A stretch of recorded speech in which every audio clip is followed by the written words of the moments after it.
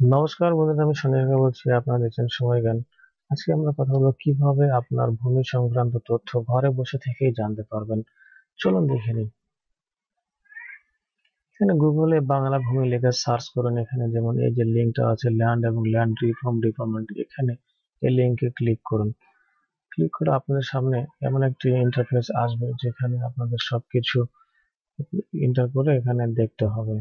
Know your property এখানে লিঙ্কে click করুন।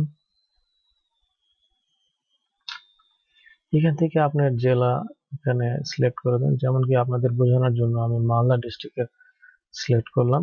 এখান থেকে ব্লক মানে আপনাদের উপজেলা যেটা সেটা এখানে সিলেক্ট করুন। এখান থেকে মৌজা সিলেক্ট করুন।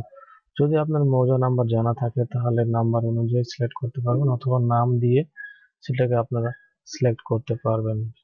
এখানে যদি আপনি দেখতে চান খতিয়ান নাম্বার অনুযায়ী, তাহলে খতিয়ান নাম্বার সিলেক্ট করতে হবে এবং দাগ দিয়ে দিয়ে যদি দেখতে চান, তাহলে দাগ নাম্বার এখানে সিলেক্ট করতে হবে।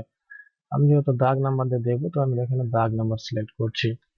এখানে আমি দাগ নাম্বারটা দিয়ে এখানে ভিউ করছি।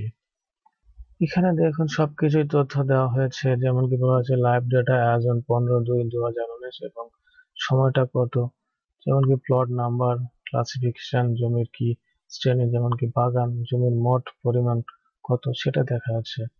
এখানে দেখুন যে এই দাগে এই প্লট নাম্বারে কতজন মালিক রয়েছেন, যেনাদের নামে রেকর্ড রয়েছে, ওনাদের তালিকা এখানে দেওয়া আছে। যেমন কি খতিয়ান নাম্বার রায়তের নাম, রায়তের এই যে ওনারের বাবা এবং স্বামীর নাম, অংশ সবকিছু এখানে দেওয়া আছে। আপনি এটাকে একটু এটাকে ড্রাগ করে অথবা স্ক্রল করে এটা আবার নিচে নিয়ে যেয়ে সবকিছুই দেখতে পারবেন।